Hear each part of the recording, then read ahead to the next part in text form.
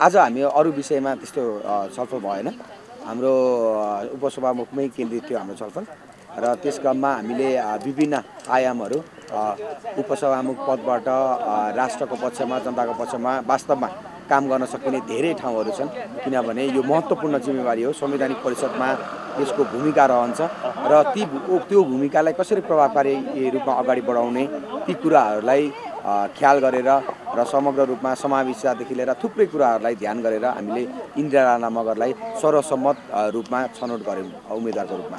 धेरैको चर्चा थियो सोभिता गौतम उपसभामुख बनाउँछ होला राष्ट्रिय स्वतन्त्र पार्टीले अथवा उहाँ चाहिँ प्रमुख दावेदार हो भन्ने खालको कुराहरू पनि आए। खास उहाँ किन अयोग्य हुनुभयो अथवा इन्दिरा राणा मगर बढी योग्य हुनुभयो? सोभिताजीले आफै इन्दिरा राणा मगरलाई अ, प्रस्ताव गर्नुभएको छ।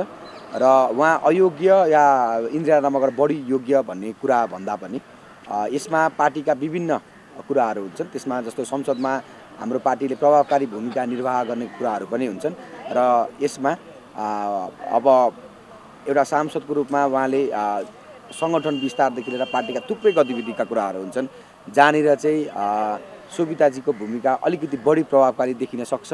र उपसभामा उहाँको भूमिका इन्दिराजीको अलिक बढी देखिन सक्छ भन्ने एउटा समग्र सबै साथीहरूको एनालाइसिस जस्तो भयो र त्यो कारणले गर्दाखेरि सुविधाजी आफैले इन्दिराजीको नाम नै प्रस्ताव गर्नुभयो र समावेशिताका कुराहरूदेखि लिएर थुप्रै कुराहरूलाई पनि हामीले ध्यान दिनुपर्थ्यो र समावेशिताका कुरा ध्यान दिँदै गर्दाखेरि पनि यी फेरि कमजोर पात्रलाई पठाउने भन्ने कुरा हुँदैन भन्नेमा हामी सबै सहमत भयौँ र उहाँ एकदमै दक्ष एकदमै योग्य र बिबिसीको टप हन्ड्रेड वुमेनमा पनि परिसकेको महिला भएको कारणले गर्दाखेरि उहाँ जस्तो योग्य उम्मेदवार हाम्रो लागि अरू उहाँ नै एकदमै योग्य देखेको कारणले हामीले उहाँलाई प्रस्ताव गर्ने निर्णय गर्यौँ